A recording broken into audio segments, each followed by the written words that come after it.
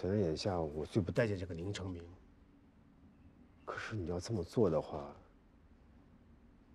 你小妹不会生气啊？第一，宁成明给出的这季度合作备选里面一共有三家，即便丢了河海，他还有别的备选。第二，小妹只是让我推荐，我本来对连胜的实力就存疑。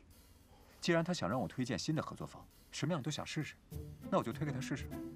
哎，我怎么听说那个连胜的那个创始人人不靠谱呢？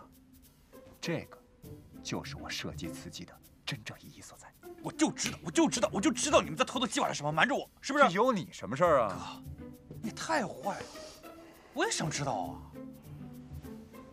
你们看啊，宁成明一共有三家合作方，一家可能丢了，一家不靠谱，只剩下一家了。在公司危机存亡的关键时刻，我们就能他对小妹是怎么样，对公司是怎么样，这个人是怎么样。你这招是不是太过激了吧？会吗？哥，你果然是继承了爸在商业上尔虞我诈之心的男人。说说说，错了错了错了，爸，还尔虞我诈？继续说呢。而且我还叫了顾兰配合，这样的话，我们就能知道宁成明对小妹究竟存着什么样的心思，明白吗？想知道吗？嗯，嗯，想，我也想知道。